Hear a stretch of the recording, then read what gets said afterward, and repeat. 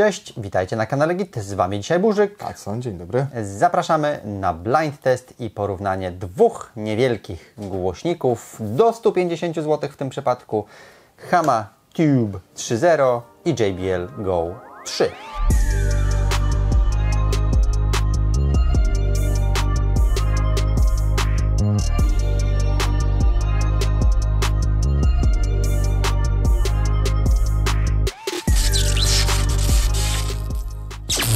Zacznijmy od wyglądu obu głośników. Nieprzypadkowo ten wyższy stanął przede mną, ten niższy przed Adsonem. Kiedyś jeszcze bym dodał, że Go jest grubszy, ale Adson teraz w dobrej formie, więc ten argument odpada, pozostaje tylko wzrost. E, dokładnie, jest smukły jak Ty teraz.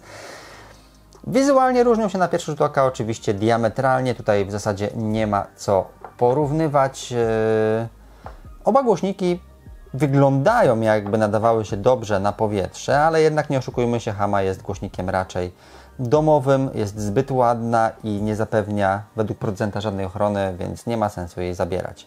Co je łączy? Łączą je gniazda przede wszystkim ładowania, bo w obu głośnikach są to gniazda USB typu C. E, łączy je e, kilka podświetlanych przycisków e, i Hama ma diody i drobne podświetlane przyciski i JBL Go również i tak naprawdę łączy je jeszcze zawieszka, raczej ten element, nazwijmy to, który pozwala na zawieszenie głośnika, przyczepienie go do czegokolwiek, niekoniecznie trzymanie w ręku lub wkładanie do czegoś. Różni je, e, no poza tym w zasadzie wszystko, od kształtu, materiałów, e, koloru w naszym wypadku oczywiście, no ale to tam nie ma znaczenia. No, Wizualnie trzeba dobrać to, co podoba się akurat Wam bardziej. Ten głośnik będzie dobrze, e, że tak powiem, komponował się z jakąś taką delikatną sypialnią czy pokojem dziennym. Ten zdecydowanie bardziej z jakimś takim rozrywkowym, młodzieżowym, czy tak jak jego główne przeznaczenie na dworze. To mi się przestawia na starość, bo z wyglądu bardziej trójeczka mi się podoba. No tak. Oczywiście Go. Jest bardziej charakterystyczny, to prawda. I ten akurat był fajnie kolorami skomponowany. No ale ten jest taki bardziej, nazwijmy to, neutralny i więcej miejsc się wpasuje aniżeli Gołka. Oba w każdym razie mogą się podobać. Tylko widać, że jest nadgryziony zębem czasu. No niestety, te, te, ta nóżka główna na Gołce, ona trzyma się dość dobrze, yy, no ale głośnik tak u mnie akurat rzadziej yy, leży niż stoi na tych wąskich nóżkach, no a jak te wąskie nóżki znoszą upływ Weź czasu, to sami widzicie. Masz, będziesz miał makaroniki. I gołka amputowaną ma jedną część nóżki. Głośniki, tak samo jak wyglądem, różnią się wymiarami. Hama jest wysoka na 14 cm, a przekątne, nazwijmy to, e, jej boków krawędzi to po 6 cm. Gołka nieco bardziej e, zrównoważona, zbalansowana. 8,7 na 7,5 na 4 cm. Ważą o dziwo podobnie 205 gramów Hama, 210 gramów mm, Go 3.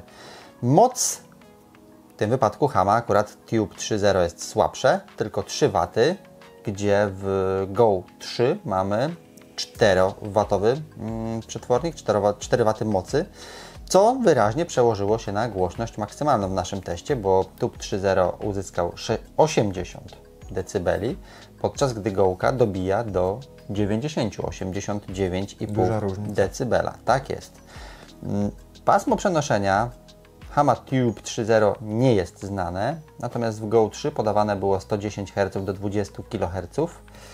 No ale teraz zaczną się plusy Tube 3.0 i przewagi jego nad Gołką, bo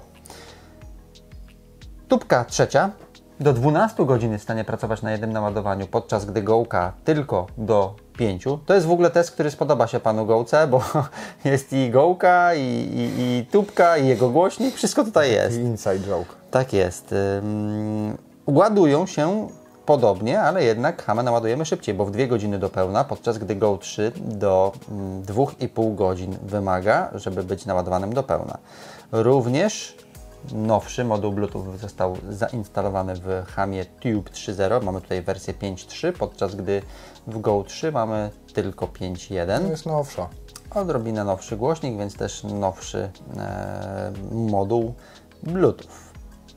Przewagą wyraźną Go 3 nad Tube 3.0 jest to, że e, ma zdeklarowaną odporność na poziomie IPX6, podczas gdy, przepraszam, na poziomie IP67, podczas gdy Hama mm, nie podawała żadnej e, odporności, więc możliwe, że przetrwa, ale nie warto ryzykować. Zwłaszcza, że ma porty na wierzchu. No właśnie i port to jest akurat dodatek e, też na plus Hamy, bo oba głośniki mają port USB-C do ładowania na wierzchu, ale obok tego w Go 3 nie znalazł się żaden inny, podczas gdy w Hamie Tube 3.0 mamy jeszcze gniazdo wejściowe AUX. Cena również na korzyść Hamy Tube 3.0, bo około 120 zł, podczas gdy Go 3 w dalszym ciągu około 150-155 zł za nowy egzemplarz kosztuje.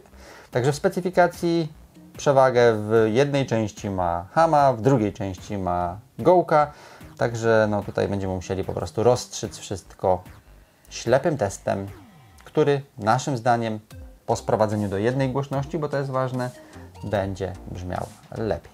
Zapraszamy. No i to, o czym mówiłem, Go 3 właśnie kończy się bateria, mimo już y, no, nie za dużo na nim słuchałem, więc szybciutko z tym jedziemy. Mieszamy dwa króciutkie utwory, przełączamy się i zobaczymy, co z tego wyjdzie. Maseczki na ryj? Zamówił po premierze Barbie. Tak. Jedziemy. Już założone? Tak jest. Mamy jakieś dwie minuty, zanim padnie obstawem. No to niedużo. Wystarczy, po 30 sekund na każdy głośnik. Dobra. One będą stały obok siebie. Mniej więcej. Tak jest. Blisko siebie. Na środku stoją teraz aktualnie. W waszą stronę zwrócone. Zobaczę tylko, czy na kadrze. Nie? Nie muszą być w kadrze, to nie ma znaczenia. Dawaj, puszczaj muza. To będzie dobrze. Dobra.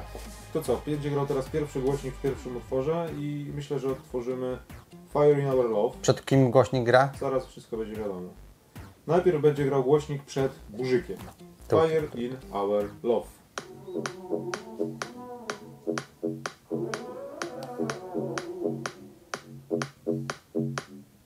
Oto teraz przed Adsonem na chwilę.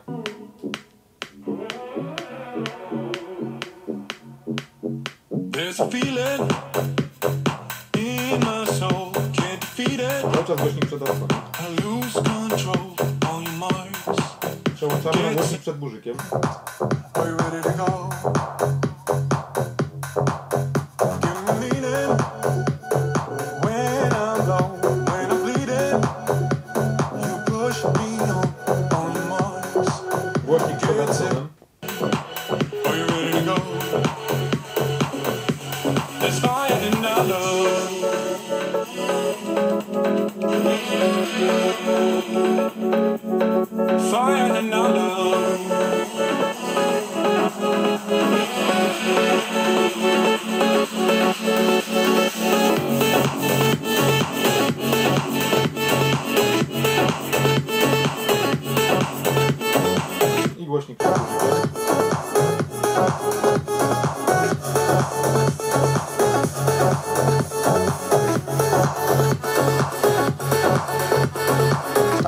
I ten był pierwszy, tak? Ten, co teraz grał? Tak, tak, tak. Ten był pierwszy, Ten dobra. Pierwszy i teraz zmieniamy na Tainted Retrovision i gra znowu pierwszy głośnik przed burzykiem. Czekaj, się znowu coś musi tutaj. Te twoje odtwarzanie z chmury tak właśnie wychodzi. Tak właśnie wychodzi. All I ever Przed burzykiem pierwszy. you, but you left me alone inside these empty,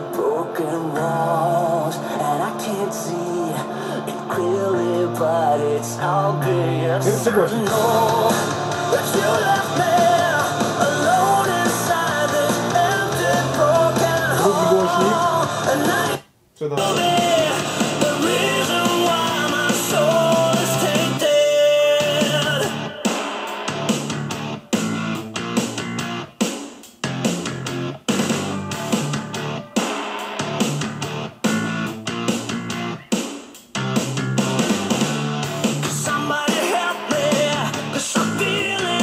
feeling Pierwszy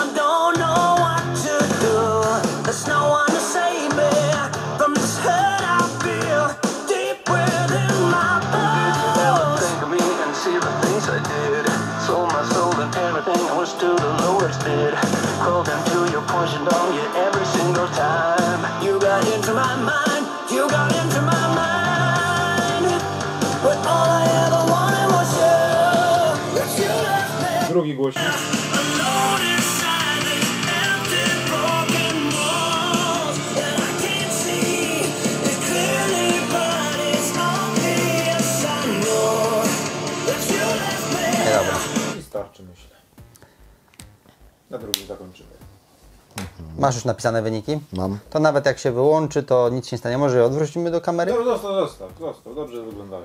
A, no dobrze. Chcesz zacząć? No a wyniki pokazujemy? A, tak.